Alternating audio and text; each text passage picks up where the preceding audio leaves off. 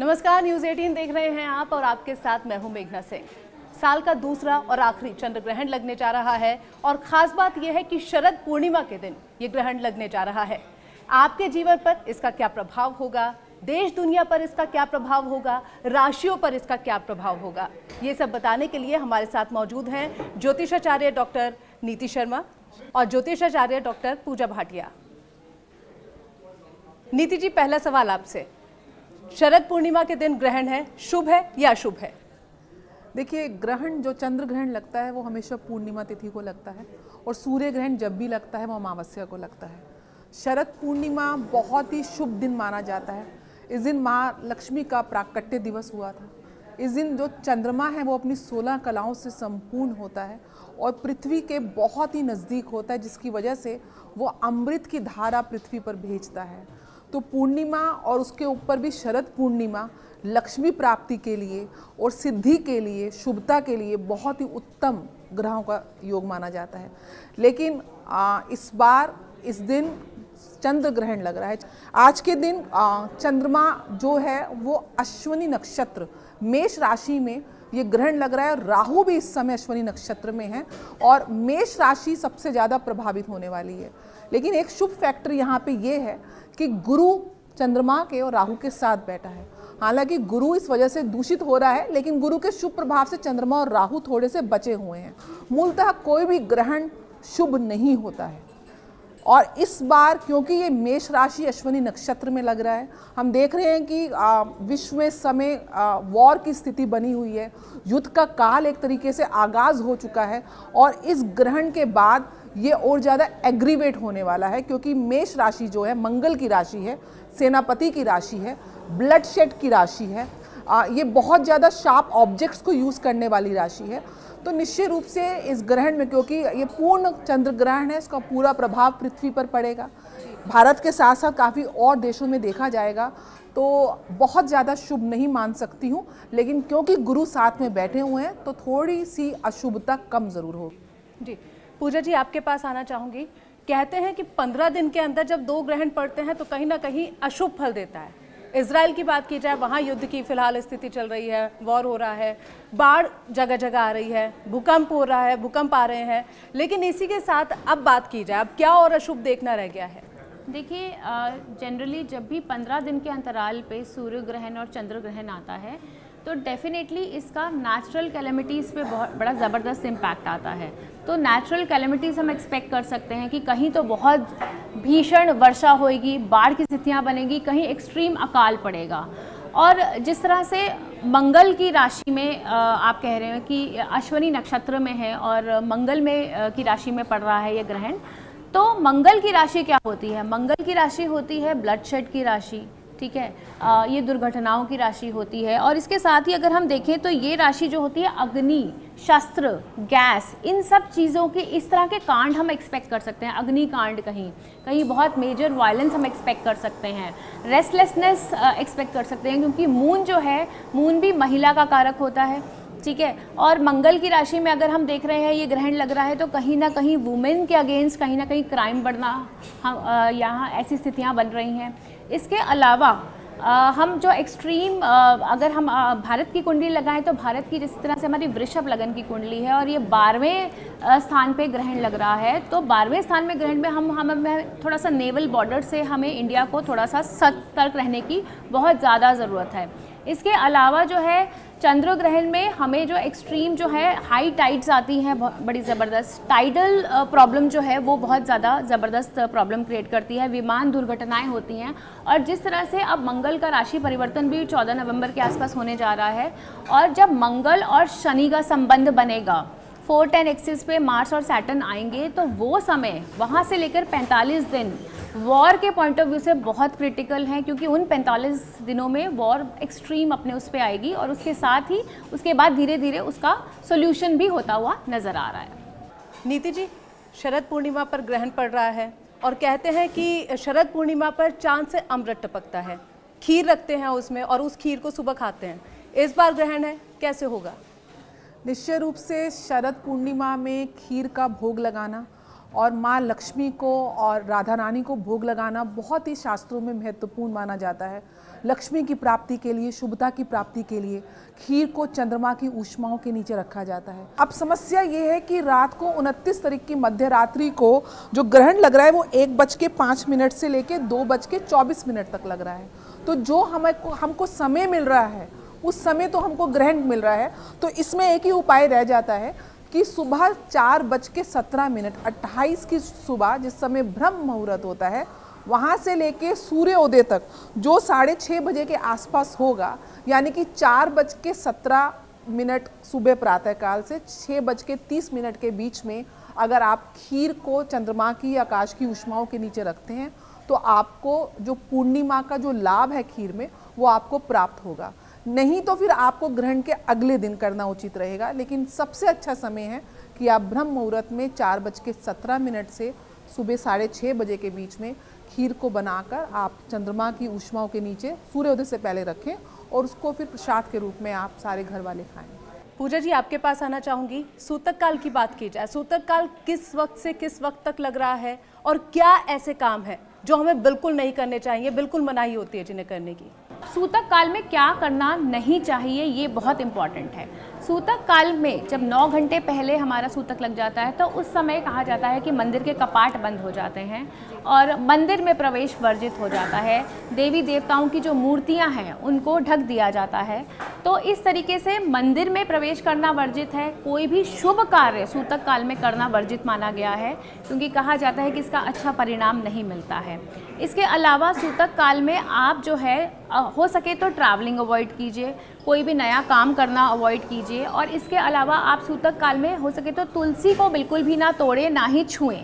ये बहुत इंपॉर्टेंट है क्योंकि तुलसी का पत्ता जब हो, जो भी हम खाने में डालते हैं, वो आप सूतक काल से पहले तोड़कर ही अपने खाद्य पदार्थ में डाल दें, उसी से ही बेटर रहेगा। और इसके अलावा सूतक काल में आपको कोशिश कीजिए कम खाएँ, पिए, क्योंकि जिस तरह से चंद्र ग्रहण जो है थोड़ा सा आपके जो बॉडी के फ्लूइड्स हैं, उसको इम्पैक्ट करता है। तो जितना आप खाने पीने का सेवन कम करेंगे, उतना आपके बॉडी के फ्लूइड्स मेंटेन रहेंगे। स्टमक अपसेट होने के बहुत ज़्यादा चांसेस होते हैं, खास करके जो कर्क लगन के लोग होते हैं, उनका जो है इमोशनल बैलेंस भी बहुत ज़्यादा हाई होता है। तो किसी भी तरह के लड़ाई झगड़े और तनाव से बचें इस पीरियड में। मंत्र चैंटिंग करते रहे वो बहुत ज़रूरी है। और ख़ास करके जो गर्भवती महिलाएँ हैं सूतक काल में बाहर निकलना अवॉइड करें और किसी भी चाकू या धारीदार चीज़ का इस्तेमाल ना करें ग्रहण के टाइम पे और सूतक काल के। जी पूजा जी आपने मंत्र की बात की। कौन सा मंत्र हमें पढ़ना चाहिए? देखिए मंत्र जो है सबसे बड़ा तो जिस तरह से हम बोलते हैं कि चंद्रमा मनसो जातक। चंद्रमा जो है मन का कारक है। तो माइंड पे मेजर इम्पैक्ट आता है इमोशंस में इम्पैक्ट आता है तो आप चंद्रमा के मंत्र कर सकते हैं, आप ओम नमः शिवाय का मंत्र कर सकते हैं, आप विष्णु सहस्त्र नाम का मंत्र कर सकते हैं, आप हनुमान चालीसा कर सकते हैं, आप श्री सुक्त का पाठ कर सकते हैं, और अगर आपको कुछ भी नहीं करना है तो आप सिर्फ़ ओम नमः शिवाय अपने मन की शांति के लिए इसी की चैंटिंग्स करते रहिए। अगर आप बहुत बीमार फील कर रहे हैं या घर में कोई ऐसा इंसान है जो बहुत बीमार है तो आप महामृत्युंजय का जाप कर सकते हैं। नीति जी बात की जाए शरद पूर्णिमा की। शरद पूर्णिमा को लक्ष्मी जी से जोड़कर देखा जाता है। कहते हैं कि धनवर्षा होती है, लक्ष्मी जी की पूजा की जाए तो। लेकिन इस बार ग्रहण है, कैसे पूजा पाठ की जाए? देखिए, निश्चय रूप से पूजा आप निसंकोच होकर कर सकते हैं और ग्रहण काल में आप कर्मकांड की पूजा नहीं कर सकते, लेकिन मंत्र जाप का बहुत प्रभाव होता है। रादर इस समय लोग सिद्धि को प्राप्त करते हैं तो ये वो समय है जब आप मंत्रों की ऊर्जाओं को ज़्यादा महसूस कर सकते हैं और उससे ज़्यादा फल प्राप्त कर सकते हैं। लक्ष्मी की प्राप्ति के लिए श्री का बीज मंत्र, ओम श्रीम या श्री सूक्तम का पाठ या फिर भगवान शंकराचार्य द्वारा निर्मित कनक धारा स्तोत्र। अगर आप पढ़ते हैं पूरे दिन पूर्णिमा के दिन तो आपको विशेष फल लक्ष्मी की प्राप्ति होती है। इस दिन अगर आप ग्रहण काल से पहले, सूतक काल से पहले अपने घर में श्री यंत्र की पूजा करें और श्री सूक्तम का पाठ करें तो निश्चय रूप से लक्ष्मी की प्राप्ति होती है। पूजा में आप कोड़ी और गोमती चक्र को अवश्य इस्तेमाल करें और सोटीक की माला से माँ लक्ष्मी के बीज मंत्र को आप जाप करने से लक्ष्मी की निश्चित रूप से प्राप्ति होती है। और जिस समय ग्रहण काल रात को चल रहा होगा, जो मध्य रात्रि का समय होगा तो हो सके उस समय आप सोए नहीं और अपने, चाहे आप अपने शयन कक्ष में बैठकर या गर्भवती महिलाएँ हैं तो वो अपने बेड पे लेट कर ही जागृत अवस्था में वो मन से जो कहते हैं ना सांसों की माला से मंत्रों का जाप करें माँ लक्ष्मी का जाप करें चंद्रमा का जाप करें, चंद्रमा के बीज मंत्र का जाप करें और दो बीज मंत्र आपको ज़रूर जाप करने चाहिए, सिद्धि के लिए भी और नकारात्मक ऊर्जा को नष्ट करने के लिए। वो मंत्र है राहु और केतु के बीज मंत्र, क्योंकि जो ग्रहण लगता है वो राहु केतु की एक्सिस की वजह से लगता है और रात्रि में ये जो नकारात्मक ऊर्जाएँ होती हैं, राहु और केतु की ज़्यादा सक्रिय होती हैं, ग्रहण काल में तो पूर्ण प्रभाव में होती हैं तो जब आप इस समय ये मंत्रों का जाप करते हैं तो जो नकारात्मक ऊर्जाएँ किसी भी रूप में आपके इर्द गिर्द आ गई हैं वो क्षीण होती हैं और सकारात्मक ऊर्जाओं में परिवर्तित होती हैं। पूजा जी आपके पास आना चाहूँगी। हमने देखा कि पूरी दुनिया इस वक्त अर्थव्यवस्था के मुश्किल दौर से गुजर रही है। ऐसे में व्यापारी वर्ग की बात की जाए तो ग्रहण के दौरान उन्हें क्या करना चाहिए? देखिए ये जो ग्रहण है ये मेष राशि और अश्वनी नक्षत्र में पड़ रहा है। अब अश्वनी नक्षत्र की यदि हम बात करें तो जो लोग मेडिकल फ़ील्ड से जुड़े हैं डॉक्टर्स मेडिकल प्रैक्टिशनर्स फार्मिस्ट वैद्य, हकीम, थेरेपिस्ट, इन पे मेजर इम्पैक्ट है। साथ ही इसके अलावा मैं बताना चाहूँगी कि जो जितने भी लोग जो स्पाइसेस के बिज़नेस में हैं, उनके लिए तो ये बेटर है। लेकिन जैसे चंद्रमा को ग्रहण लग रहा है तो जितने भी डेयरी प्रोडक्ट्स हो गए जितने भी मून रिलेटेड बिज़नेस हो गए क्लॉथिंग गारमेंट अगर आप स्टॉक एक्सचेंज देखेंगे तो अभी पीछे इन सब डेयरी प्रोडक्ट्स की और टेक्सटाइल्स के स्टॉक्स जो है, बहुत ज़बरदस्त गिरे भी हैं। तो मेजर फ्लक्चुएशंस आप देखेंगे, सोना चांदी के भाव में आप मेजर फ्लक्चुएशंस देखेंगे तो व्यापारी वर्ग पे तो डेफिनेटली इस चीज़ का असर पड़ेगा ही। और सूर्य चंद्रमा और अश्विनी नक्षत्र से रिलेटेड जितने भी प्रोफेशन हैं बिज़नेस हैं स्पेसिफिकली जो बिज़नेस जिसमें हॉर्सेस का इस्तेमाल होता है, वहाँ पर भी इम्पैक्ट आता हुआ नज़र आ रहा है। तो ऐसे में व्यापारी वर्ग को क्या करना चाहिए? सबसे पहले तो आप माँ लक्ष्मी के मंत्र करते रहिए और अपने बिज़नेस के स्थान पे, अपने ऑफ़िस में ग्रहण के बाद गंगा जल छिड़किए। साथ ही आप जो है क्या कर सकते हैं कि ग्रहण के बाद दान पुण्य कर सकते हैं। दान पुण्य करने से ग्रहण का बहुत ज़बरदस्त इम्पैक्ट जो होता है वो काफ़ी हद तक कम हो जाता है और उसका शुभ प्रभाव आपको मिल, सुनने को मिलता है। साथ ही आप मंत्रा चैंटिंग करते रहिए और मनोकामना पूर्ति के लिए अपने बिज़नेस की जो है ग्रोथ के लिए आप मैनिफेस्टेशंस कर सकते हैं। पूरे ऑफ़िस में गंगा जल छिड़क सकते हैं और इसके अलावा आप क्या करते हैं, ग्रहण के बाद जो है मीठे चावल बना के यदि आप कौवों को खिलाएँगे तो कहा जाता है कि ग्रहण का दोष बहुत हद तक असर कम हो जाता है तो आप ये कुछ उपाय कर सकते हैं। जी। नीति जी अगर खाने पीने की बात की जाए तो ग्रहण के दौरान खाने पीने की मनाही होती है खाना पीना नहीं खाना चाहिए। लेकिन इसी के साथ साथ अगर सूतक काल की बात की जाए तो वहाँ पर भी मनाही होती है। तो खाना कब तक खा लेना चाहिए इस वक्त में? देखिए आइडियली तो जो पीक टाइम है ग्रहण का जो मध्य रात्रि है वो भोजन का समय है नहीं शयन का समय है। तो वहाँ तो आपको एक सेविंग फैक्टर मिल रहा है कि और तकरीबन सवा घंटे का ये ग्रहण लगेगा। उस समय तो बिल्कुल ही निषेध है खाना। और मेरे ख्याल से आवश्यकता भी नहीं है लेकिन सूतक काल नौ घंटे पहले लग जाएगा। दोपहर को शाम को चार बजे के पाँच मिनट के आसपास प्रारंभ हो जाएगा। लेकिन इतना समय रहना भूखा रहना नौ घंटे संभव नहीं है। जो लोग रोगी हैं या जो लोग महिलाएँ जो गर्भ अवस्था में हैं तो आपको करना क्या है? तुलसी पत्र अपने खाने के भोज में आप डाल दीजिए या फिर तुलसी की आजकल ड्रॉप्स भी आती हैं। आप उनको भी डाल सकते हैं। तुलसी तत्व में ऑक्सीजन की मात्रा और शुभता की मात्रा ज़्यादा होती है तो वो जो नकारात्मक कीटाणु होते हैं, ग्रहण की वजह से, वो उनका कहीं ना कहीं नाश करती हैं।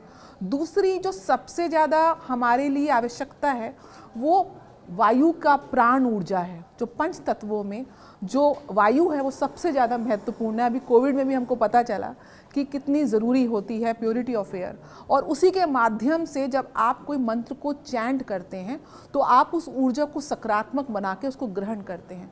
तो आप जो भी खाना इस समय आप ग्रहण करें, सूतक काल के समय, उस खाने में तुलसी पत्र या तुलसी के ड्रॉप्स डालें और उसके बाद उस खाने को सामने रख कर आप महामृत्युंजय के मंत्र से और चंद्रमा के बीज मंत्र से अगर आपने कोई अपना गुरु मंत्र ले रखा है तो उस मंत्र से चार्ज कर कर उसके बाद आप उस खाने को अगर आप ग्रहण करते हैं तो निश्चय रूप से उसके नकारात्मक प्रभाव काफ़ी हद तक क्षीण हो जाते हैं।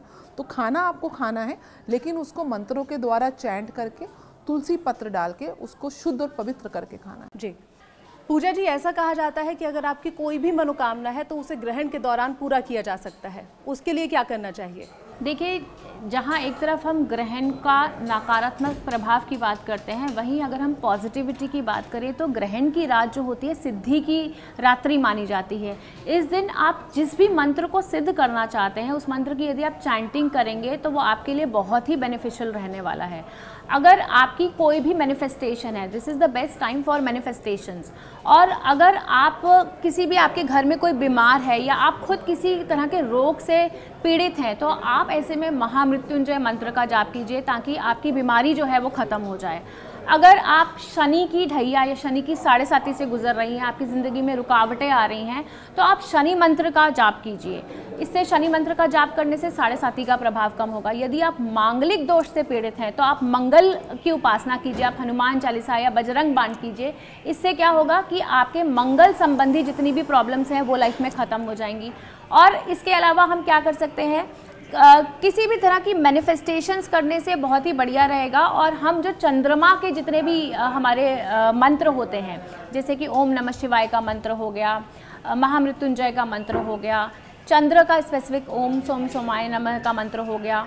और इसके अलावा हम मंत्र में लक्ष्मी जी का मंत्र, अगर हमें लक्ष्मी जी के अपने बिज़नेस में उन्नति चाहिए बिज़नेस ग्रोथ चाहिए तो लक्ष्मी जी के मंत्र हम कर सकते हैं। विष्णु सहस्त्र नाम का पाठ कर सकते हैं, श्री सूक्त का पाठ कर सकते हैं। तो ये रात मंत्र सिद्धि के लिए बहुत ही इंपॉर्टेंट रात है, और जो भी आपकी मैनिफेस्टेशन है आप इस रात में कर सकते हैं। नीति जी, अगर प्रेग्नेंट महिलाओं की बात की जाए तो बहुत सी उन्हें सावधानियाँ बरतने के लिए कहा जाता है। अब ये रात के वक्त ग्रहण पड़ रहा है तो ऐसे में क्या करना चाहिए? क्या उन्हें सोना चाहिए या उठना चाहिए उस वक्त? और छोटे बच्चों के बारे में भी। देखिए, अगर संभव हो तो ग्रहण के समय आपको जागना चाहिए, आप लेट सकते हैं। आप लेट सकते हैं। प्रेग्नेंट महिलाओं को स्पेशली इस समय लूज़ कपड़े पहनने चाहिए। बहुत ज़्यादा टाइट कपड़े पहन के उनको सोना नहीं चाहिए। और उसके बाद वो इस अवस्था में सोएँ कि ज़्यादा मूवमेंट ना करें। और जो आपके गर्भ का स्थान है जो आपके बेली का एरिया है उसके ऊपर आप आलता या चंदन का एक लेप लगा सकते हैं। कोई ठंडी चीज़ या फिर आलता या रोली में आलता मिला के या चंदन में आलता मिला के आप उस अपने जो गर्भ के एरिया को है, उसको आप ढक के, उसका लेप लगा के लेट सकते हैं। और कोई भी शार्प ऑब्जेक्ट्स आपको नहीं यूज़ करने हैं। मानसिक जाप आपको करते रहना है। अपने शिशु के स्वास्थ्य के लिए प्रार्थना करते रहना है। अपने अच्छे प्रसव के लिए प्रार्थना करते रहना है। और मुख्यतः रूप से जितना मेडिटेशन करेंगे, उतना ही अच्छा है। और ये जो वस्त्र आप रात को पहन के सो रही हैं, जितनी भी गर्भवती महिलाएँ हैं वो सुबह उठने के बाद संपूर्ण वस्त्र आपको दान करने हैं और उसके साथ थोड़ा सा दान सामग्री जैसे कि आटा, चीनी, चावल, सफ़ेद वस्तुएँ, वो आपको किसी गरीब महिला को, क्योंकि चंद्रमा महिलाओं का कारक है, माता का कारक है, जो माता समान महिलाएँ हैं, उनको आप सुबह दान कर दीजिए और उसके बाद पुनः गंगा जल से स्नान करके आप अपनी दैनिक क्रियाओं में आप अपना काम कर सकते हैं। जी, नीति जी, एक सवाल यहाँ जानना चाहूँगी। जिस तरह से प्रेग्नेंट महिलाओं को कहा जाता है कि उन्हें इस वक्त में कुछ काटना नहीं चाहिए। कहते कि बच्चे के अंगों पर इसका असर पड़ता है। क्या ये मिथ है या वाकई ऐसा कुछ? देखिए टेक्निकली आप सोचेंगे तो इट्स नॉट कि इफ़ेक्ट पड़ रहा है। इस चीज़ को समझने की आवश्यकता चंद्रमा मन का कारक है। आपकी फीलिंग्स का, आपकी भावनाओं का कारक है। और जब भी चंद्रमा पीड़ित होता है तो कहीं ना कहीं आप देखेंगे जब पूर्णमासी या फिर अमावस्या होती है तो जो मेंटली चैलेंज लोग होते हैं, वो काफ़ी ज़्यादा एजिटेट हो जाते हैं। आप normal day to day life में भी देखेंगे कि फुल मून या नो मून के समय आपको काफ़ी ज़्यादा गुस्सा आता है या कुछ लोग काफ़ी ज़्यादा एक हैप्पी फीलिंग आती है। तो यहाँ पे क्योंकि चंद्रमा प्रभावित है आ, उसकी वजह से मानसिक अवसाद डिप्रेशन जैसी समस्या एनजाइटी इश्यूज़ हो जाते हैं। और जब आप एनजाइटी इश्यूज़ हैं अगर आप मेंटली डिस्टर्ब हैं और आप शार्प ऑब्जेक्ट्स को यूज़ कर रहे हैं तो देर इज़ अ पॉसिबिलिटी कि वो आपको हर्ट करें या कोई एक्सीडेंट हो जाए।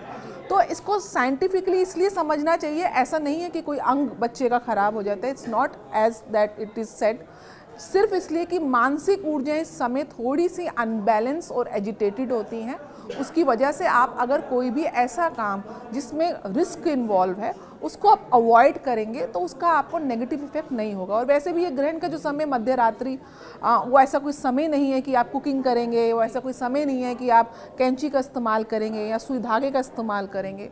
तो डेढ़ घंटे का, सवा घंटे का पीरियड आप रेस्ट करिए और चैंटिंग करिए और उसका अच्छा फल प्राप्त हो आपको। जी। पूजा जी, हर कोई जानना चाहता है कि राशियों पर, उसके जीवन पर उसका क्या असर पड़ेगा, ग्रहण का क्या असर पड़ेगा? ऐसे में आपसे जानना चाहूँगी, किस राशि पर अच्छा प्रभाव ये ग्रहण लेकर आ रहा है? देखिए, सबसे पहले तो मैं बताऊँगी जिस तरह से मेष राशि में ग्रहण है। तो मेष राशि और तुला राशि पे इसका नकारात्मक प्रभाव है। और चंद्रमा जो है, कर्क राशि का स्वामी है और सूर्य जो है, वो सिंह राशि का स्वामी है। तो इन चार राशियों में थोड़ा सा नकारात्मक प्रभाव है। अगर हम पॉजिटिव इम्पैक्ट की बात करें तो मिथुन राशि पे इसका पॉजिटिव इम्पैक्ट है, क्योंकि मिथुन राशि से गैरवे भाव में लग रहा है, लाभ स्थान पे ग्रहण लग रहा है तो बहुत ही शुभ रहेगा मिथुन राशि के लिए। बिज़नेस में ग्रोथ उन्नति इंक्रीमेंट के चांसेस जॉब में प्रमोशन के चांसेस बन रहे हैं। वहीं दूसरी राशि अगर मैं देखूँ तो वृश्चिक राशि के लिए भी ये बहुत शुभ है, क्योंकि वहाँ से छठे भाव में लग रहा है। तो अगर आप कोई जॉब ढूंढ रहे हैं तो जॉब की अच्छी अपॉर्चुनिटीज़ आपके लिए खुलेंगी। कॉम्पिटिटिव एग्ज़ाम्स दे रहे हैं तो कॉम्पिटिटिव एग्ज़ाम्स में आपकी सक्सेस होती हुई नज़र आ रही है वृश्चिक राशि वालों के लिए। और इसके अलावा किसी भी तरह का रोग, ऋण, शत्रु, उसको परास्त करने में आप काफ़ी सामर्थ्य रहेंगे। तीसरी राशि जो है, कुंभ राशि की यदि मैं बात करूँगी, वहाँ से तीसरे स्थान में रख रहा, लग रहा है तो शुभ यात्राएँ होंगी। आपकी कम्युनिकेशन स्ट्रांग होगी, आपके सिबलिंग्स के साथ रिलेशनशिप अच्छे होंगे, आपकी शॉर्ट ट्रैवल्स होंगी, जो आपके लिए बहुत ही पॉजिटिव रहने वाली हैं। तो ओवरऑल इन राशियों के लिए तो पॉजिटिव इफ़ेक्ट है। तीन चार राशियों के लिए, जैसे कि मैंने बताया, मेष और तुला और कर्क और सिंह के लिए थोड़ा सा नकारात्मक प्रभाव रहेगा। लेकिन ये सब जनरल इम्पैक्ट होता है। जिन लोगों की कुंडली में राहु केतु की दशाएँ चल रही होती हैं या चंद्रमा की दशाएँ चल रही होती हैं उनका जो है मेजर इम्पैक्ट रहता है overall it's a general impact जी जिन राशियों पर नेगेटिव इम्पैक्ट पड़ रहा है उन्हें क्या सावधानियाँ बरतने की ज़रूरत है? देखिए सबसे ज़्यादा क्योंकि मैंने बताया चंद्रमा मन का कारक है डिप्रेशन की प्रॉब्लम एनजाइटी की प्रॉब्लम एक बेचैनी होने की प्रॉब्लम ये होती है इस समय। तो पानी से ही हीलिंग भी होती है। एक तो आप जो भी जल ग्रहण करें, उसको अभिमंत्रित करके ग्रहण करें। और जिस समय आप स्नान करते हैं तो उस स्नान के पानी को भी आप अभिमंत्रित करें। और स्नान के पानी में अगर आप चंदन का इत्र लगा देते हैं, डाल देते हैं तो चंदन से राहु को डर लगता है। तो राहु की जो नकारात्मक ऊर्जाएँ हैं, वो चंदन से क्षय हो जाती हैं। तो चंदन का इत्र अपने कपड़ों में, अपने नहाने के पानी में अगर आप इस्तेमाल करते हैं तो काफ़ी नेगेटिव ऊर्जाएँ कम होती हैं और ये सभी राशि वाले निसंकोच होकर कर सकते हैं। इसके अलावा राहु केतु के मंत्रों का जाप, चंद्रमा के मंत्रों का जाप, राहु केतु की अगर महादशा चल रही है आपकी कुंडली में, चंद्रमा की महादशा चल रही है तो विशेष रूप से आपको इसका प्रभाव पड़ने वाला है। पूजा जी आपसे जानना चाहूँगी अगर राशियों की बात की जाए राशियों पर जिस तरह से आपने बताया कि असर हो रहा है कुछ पर अच्छा है और कुछ पर बुरा है लेकिन कितने दिन तक ये प्रभाव रहता है और कितने दिन तक सावधानियाँ बरतने की या फिर उपाय करने की ज़रूरत होती है? देखिए चंद्र ग्रहण या सूर्य ग्रहण का इफ़ेक्ट जो होता है thirty two forty five days तक रहता है। और जैसे कि मैंने बताया कि ये जनरल इम्पैक्ट रहता है क्योंकि चंद्रमा और सूरज, कहा जाता है, सृष्टि के माता पिता हैं ल्यूमिनरीज हैं। तो जब यही पीड़ित रहती हैं तो डेफिनेटली पृथ्वी पे रहने वाले जितने भी लोग हैं, उस पर इसका असर कहीं ना कहीं पड़ता है। और मून जो है, वो माइंड का इमोशंस का, और, हमारी बॉडी के फ्लूड्स का कारक है तो कहीं ना कहीं इमोशनल इम्पैक्ट एंग्जाइटी ठीक है वुमेन्स में hormonal issues tensions anxiety problem रहती है। तो इसका इम्पैक्ट 15 से 30 दिन के बीच में आप ज़्यादा देखेंगे। और जितनी राशियाँ हैं, जिनकी राशियों में एक्चुअल में राहु केतु की दशाएँ या चंद्रमा की दशाएँ या फिर ग्रहण योग की पत्रिकाएँ हैं, इन पत्रिकाओं में आप ज़्यादा इफ़ेक्ट देखेंगे। ओवरऑल जनरल इफ़ेक्ट है, आप जो है चंद्रमा के मंत्र, देखिए मंत्र उच्चारण हमेशा ही पॉजिटिव रहते हैं। तो आप ओम नमः शिवाय की चैंटिंग करते रहिए और जिस तरह नीति जी ने बताया कि आप पानी को अट्यून करके, मंत्रों से अभिमंत्रित करके यदि आप वो पानी पियेंगे ना तो आपके अंदर जब वो अट्यून्ड वाटर जाता है तो डेफिनेटली पॉजिटिविटी आती ही आती है। सिर्फ़ चंद्र ग्रहण के आसपास नहीं, ये आपको नॉर्मल रूटीन में भी अपनी लाइफ में अपनाना चाहिए कि जब भी पानी पिए वाटर चार्ज करके पिए, ओम नमः शिवाय जिस भी भगवान को आप मानते हैं, पाँच बार उस मंत्र का जाप कीजिए और पानी पीजिए, आप देखिए आपकी लाइफ में बहुत पॉजिटिव चेंजेस आने शुरू हो जाएँगे। जी आप दोनों से ही आखिरी सवाल है, क्या ग्रहण से डरने की ज़रूरत है? बिल्कुल नहीं, ये एक एस्ट्रोनॉमिकल इवेंट है। चंद्र ग्रहण हो, सूर्य ग्रहण हो, इन्होंने होना ही होना है। तो डरने की आवश्यकता नहीं है, लेकिन विशेष सावधानियाँ अगर आप इस्तेमाल करते हैं तो निश्चय रूप से आपकी जो मानसिक मनोबल है, वो आपका स्थिर रहता है और आपका मन नहीं भटकता। तो मुख्यतः रूप से डरने की आवश्यकता नहीं है। ये होता ही है, होगा, आगे भी होगा लेकिन आपको अपनी मानसिक ऊर्जाओं को चैनलाइज करना है स्टेबल रखना है। उसकी बात जिस तरह से एस्ट्रोनॉमिकल इवेंट है, होना ही है और साल में चार ग्रहण लगते ही लगते हैं तो ये साल का आखिरी चंद्र ग्रहण है और इससे चौदह दिन पहले सूर्य ग्रहण भी लगा है। तो आपको इसे डरने की बिल्कुल ज़रूरत नहीं है। पॉजिटिव साइड देखिए, मंत्र सिद्धि का वक्त है। आप अपनी मंत्र सिद्धि कीजिए मैनिफेस्टेशंस कीजिए, घबराइए नहीं। क्योंकि कुंडली के अनुसार, ग्रह दशा के अनुसार आपका जो इंडिविजुअल हॉरोस्कोप है, उसका मेजर इम्पैक्ट रहता है। चंद्र ग्रहण, सूर्य ग्रहण का जनरल इम्पैक्ट रहता है। बाकी आपकी कितना मनोबल कितना स्ट्रांग है, उस पर बहुत चीज़ें डिपेंड करती हैं। तो ग्रहण से बिल्कुल डरने की ज़रूरत नहीं है। छोटे छोटे से उपाय कर कर आप ग्रहण के नकारात्मक प्रभाव से दूर रह सकते हैं। इसी के साथ हमारे इस खास पेशकश में इतना ही। नमस्कार।